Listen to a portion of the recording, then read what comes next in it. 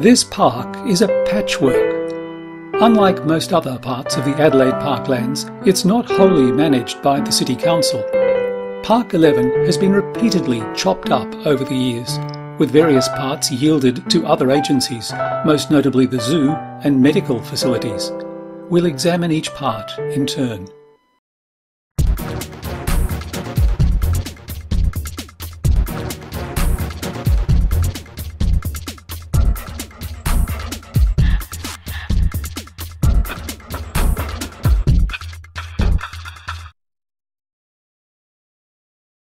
Mistletoe Park, or Tainmuntilla in the Kaurna language, is the northernmost part of Park 11. It follows the River Torrens, Karrawirra Parri, from Hackney Road to Frome Road. It's well loved by walkers, runners and cyclists who enjoy one of Adelaide's most picturesque settings to exercise or commute.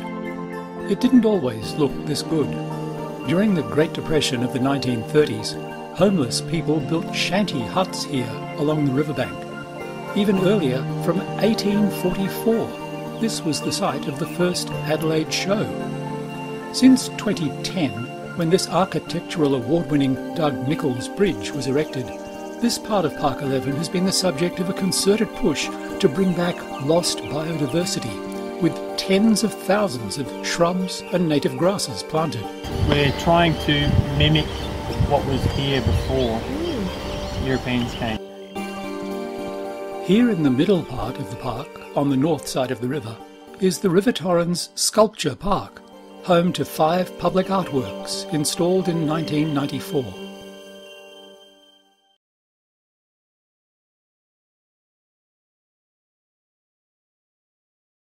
Adelaide Zoo occupies 8 hectares of Park 11. It's run by the Royal Zoological Society, trading as Zoos SA, a registered not for profit conservation charity.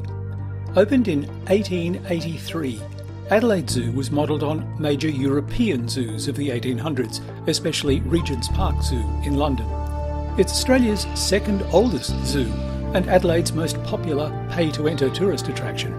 Around 450,000 people come through the gates of Adelaide Zoo each year. Although it's long been an alienation of Adelaide's parklands, it is nevertheless a park, and effectively also Adelaide's second botanic garden. The zoo retains many original features dating from the 1800s. These include the original main gates, the head keeper's cottage, this 1884 rotunda, the former elephant house, and the former director's residence, now the zoo's office. Zoos SA runs not only Adelaide Zoo but also Monarto Zoo, it has an annual turnover of $25 million, most of which comes from entry tickets and its 46,000 members. Its goals include connecting people with nature and to save species from extinction. Botanic Park is a 34 hectare green oasis that links Hackney Road in the east to Frome Road in the west, right across the width of Park 11. Botanic Park is an arboretum, a garden devoted to trees, including some trees that predate European settlement. One of its famous features is Plane Tree Drive, that curves through Botanic Park, lined with plane trees since 1874.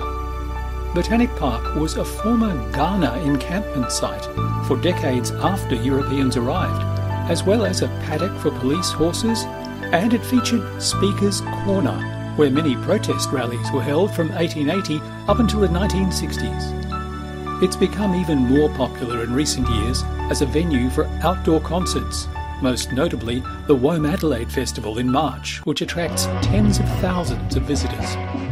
For the rest of the year, it's Adelaide's favourite place for picnics and family gatherings in the shade of century old Moreton Bay fig trees with their gnarled buttress roots. Since 2010, Botanic Park's also been colonised as a home by thousands of native grey-headed flying foxes. They forage far and wide, then return to this park to roost and breed.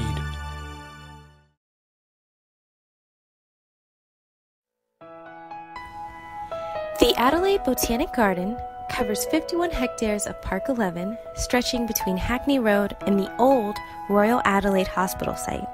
The park's development on this site began in 1854. In those days, the mark of a civilized European society was a botanic park, so the city of Adelaide decided to establish its own. These days, under state government management, it's a community of 11 different gardens, each serving its own unique purpose.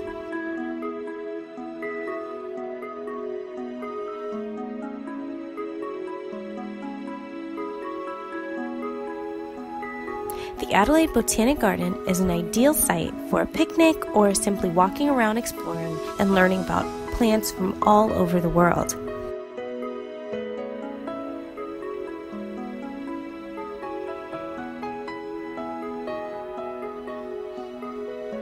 For 50 years, until 1902, part of the site was home to the Adelaide Lunatic Asylum. That building no longer exists, although its former morgue has been retained with a heritage listing.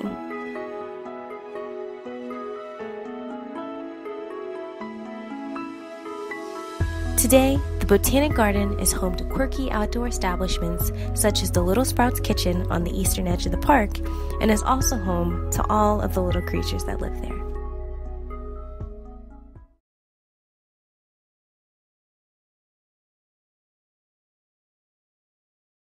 This small, little known section of Park 11 is a rare example of previously lost parklands that's been returned to the public. In the 1800s, there was an exhibition building here. In the late 1900s, it was a sprawling car park for the adjacent hospital. But the space is now managed by the City Council and forms a green link between Frome Road and the Adelaide Botanic Garden.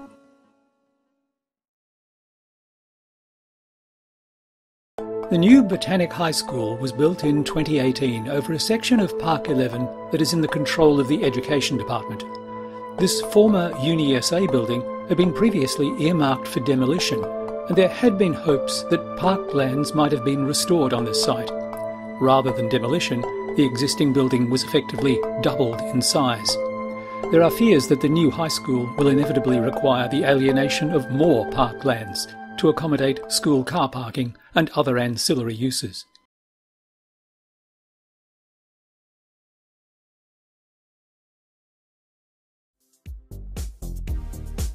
The National Wine Centre is a unique and industrialized representation of the Adelaide Parklands.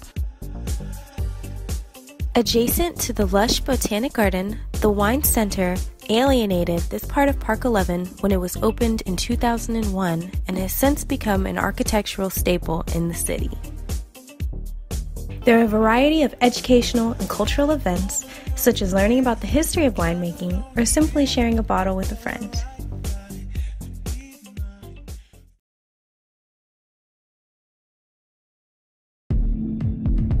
The Royal Adelaide Hospital was opened on this site in Park 11 back in 1856. Over decades, many buildings for related medical purposes were built around the Royal Adelaide Hospital, taking more and more parklands, including some land taken in 1950 from the adjacent Botanic Garden. In September 2017, a replacement new RAH was opened. The new RAH was also built on parklands, but the fate of this 7 hectare site in Park 11 was the subject of ongoing debate. The former Labor state government had proposed more than a thousand high rise apartments. In March 2018, the incoming Liberal state government foreshadowed many commercial uses for this site, including a multi story new hotel. Nevertheless, public campaigns continued to return at least some of the site to parklands.